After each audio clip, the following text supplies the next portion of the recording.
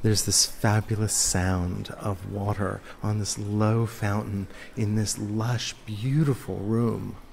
And that's one of the sounds that would have welcomed anyone into a Damascene house the sound of the fountain. It would escort you into one of the reception rooms. So we're standing in a qa'a, which is one of the winter reception rooms from a house from Damascus from the early 18th century that is now in the Metropolitan Museum of Art. It is filled with cut stone, wooden panels which are decoratively carved in complex patterns. There are cushions, and the room's shelves are filled with ceramics and books. It feels as if we're in a very prosperous environment.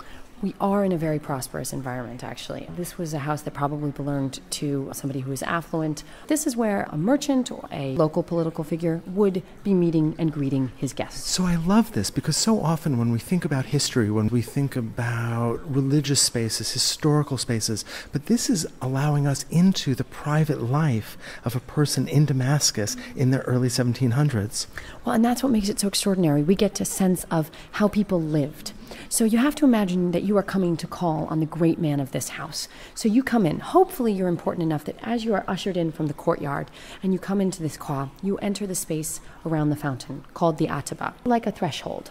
And if you're important, you take off your shoes and you are escorted to sit on the diwan in the other part of the room that is called the tazar. This is this kind of raised platform. If you're not so important, you get stuck in the ataba, which, while it's beautiful, it has inlaid stone, it's a big insult to be left there. You're with people's shoes. All right, we don't want to stay down here. So we ascend up this step and we sit on the cushions, and perhaps the servants come in. They might serve us some fruit, they might serve us some refreshing drinks. They might serve us coffee. One of the Arab saints called coffee a gift from God. I'm there. You could also be given a water pipe, a nargila or a hookah, as they're often called, so you could smoke apple tobacco. If they were in season, pomegranate juice is something you get in September in Damascus. So you'd be seated, depending on how important you were, towards the central part of the rear wall. And from there, you'd be able to really admire the glory of this room, which is decorated in the Ajami style. Ajami means foreign or Persian in Arabic. We don't know where this type of technique comes from, but it was around in Egypt and other parts of the Central Arab lands before it came to Damascus. But what it means and what it is is this gorgeous technique that we see on the walls. It was a treatment for wood panels. So what you do is you take your bit of wood, you would put a, a gypsum mixture down on it. You would So that's kind of like plaster. yeah, you'd create a raised and textured surface which you would then stencil, giving yourself a pattern. On top of that, you would put down a type of metal leaf. You could put down gold leaf, you could put down silver leaf. We even get examples of tin leaf, where the tin seems to be from England and was imported.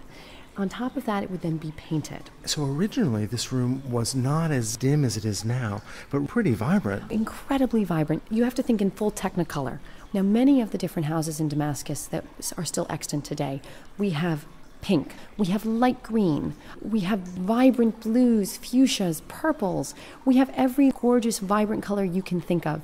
But a lot of these rooms have been revarnished, and that varnish then cannot always be removed. There's really an attempt to create a sense of liveliness for the eye, just like the fountain creates liveliness for the ear. I think that's exactly right. And you really can also see that in one of the most dominant features in the room, the masab, the niche. This is not a prayer niche, it's just a decorative niche. And I noticed that it's aligned on the axis of the entry so that this would have been the first thing you would have seen. Exactly. And while you have to imagine out the Turkish tiles that are there in the center, it really would have been a spectacular structure. So you can see at the top, you see the hood and the muqarnas. Now, those are the little fragments of a dome that create this geometric multiplication, beautifully complex. They are a fundamental element of Islamic art. We see them not only in decorative capacities, but they also are great ways to get from a square base to a dome. So we see them in a lot of mosques. Whenever you see a muqarnas, you know you are somewhere where Islam has been. Within those shelves, within that niche, I see some precious objects. In fact, I see that throughout the room. And so this was really a way of showing off. You would show fantastic ewers, carved metalwork, bowls, ceramics, so people could see your affluence.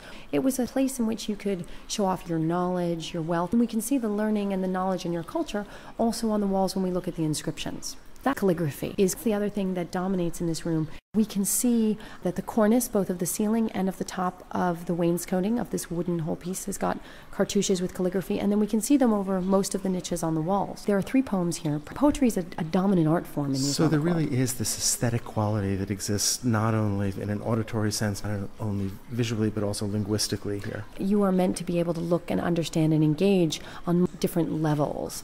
All of your senses are being stimulated. I'm interested in the fact that the room doesn't have any fixed furniture and that it was also seasonal. This would have been off the north side of the courtyard so that it could have taken advantage of the sun's direct rays during the winter. We are in the world before air conditioning, and you need to move to where it's either warmest or coolest depending on the weather. So the qa'a might be your winter reception room because it gets the most sun, it's in the interior. But in the summer, you would go to the Iwan, which was usually located on the south side, so it was north facing, which would be much more pleasant in the summer.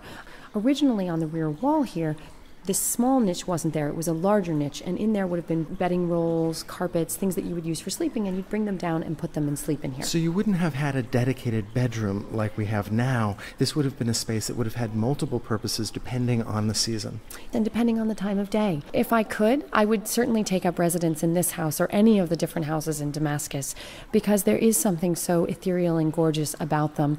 And it's one of the things that has attracted travelers to Damascus. People who come to these houses, whether it's Isabel Burton or Frederick Leighton, they are so touched by them that they cannot say how meaningful they are other than that they always long to return.